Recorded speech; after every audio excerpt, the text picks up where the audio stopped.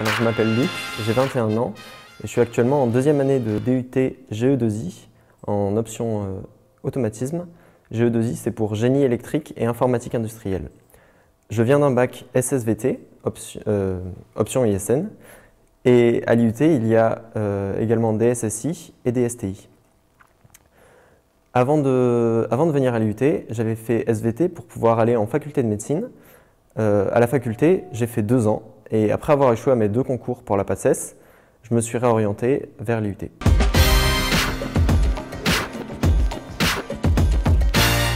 Alors, après mes deux échecs en faculté de médecine, il fallait que je me réoriente et j'avais donc le choix entre la faculté ou l'IUT. Euh, et plutôt que d'aller à la faculté où j'avais déjà fait deux ans, euh, où on avait fait énormément de, de théorique, à l'IUT, euh, j'avais la possibilité de faire des amphis et de mettre tout de suite, de comprendre ce qu'on avait fait en amphithéâtre, de le revoir en TD et de mettre en application ce qu'on avait vu en travaux dirigés en travaux pratiques. Euh, L'IUT, ça représente environ 35 heures par semaine euh, qui sont réparties équitablement entre les cours magistraux, les TD et les TP.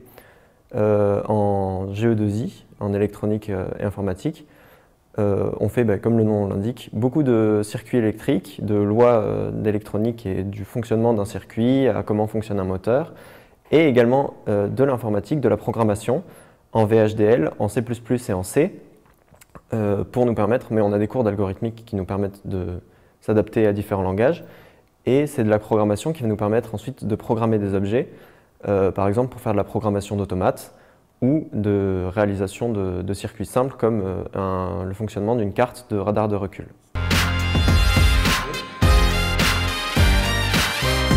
Et après l'IUT, on a plusieurs options. Donc on peut se mettre à travailler directement parce qu'on a un diplôme de technicien et il y a euh, du travail à la sortie. Euh, on a aussi possibilité de continuer avec une année supplémentaire en licence professionnelle ou de rebondir sur différentes formations en licence 3 à la faculté parce qu'on a une équivalence de licence 3 ou en école d'ingénieur qui prennent certaines places pour des, DUT.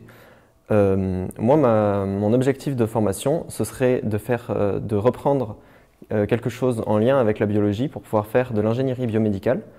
Euh, donc toujours euh, toute ma formation en automate qui me servirait sur de l'instrumentation et sur de l'appareillage médical.